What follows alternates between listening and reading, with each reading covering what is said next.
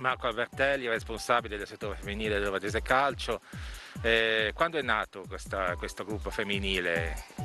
Allora, noi abbiamo iniziato a riportare il calcio nelle scuole 5-6 anni fa, a fare promozione e da subito ci siamo resi conto di come la risposta da parte delle ragazzine era straordinaria.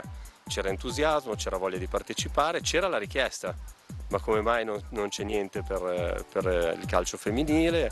Da lì è partita questa idea, un'idea che è rimasta latente per qualche anno, poi tre anni fa eh, questo gruppo che ha partecipato ai campionati studenteschi col professor Lombardi e la scuola di Molare eh, mi ha fatto questa richiesta di provare a farli fare un po' di, di, calcio. E da lì è iniziato tutto. Abbiamo iniziato con 12 ragazzine di ogni leva, dalle 2003 alle 2010, adesso abbiamo una quarantina di ragazze, abbiamo partecipato quest'anno fino a che le condizioni hanno permesso al campionato under 15 femminile, l'ultima partita abbiamo giocato col Torino al Geirino facendo anche un'ottima, un'ottima prestazione, abbiamo le under 12 che partecipano agli esordienti misti.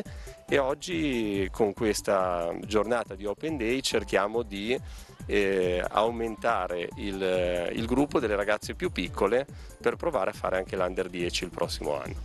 E il nostro slogan è che gio il gioco e lo sport non hanno genere, quindi tutti i ragazzini, maschi e femmine, devono essere liberi di scegliere quale attività li gratifica di più e li appassiona di più e in questa direzione abbiamo lavorato sdoganando appunto una, eh, una cosa che era impensabile soltanto qualche anno fa. Abbiamo un, come allenatrice un nome del calcio femminile.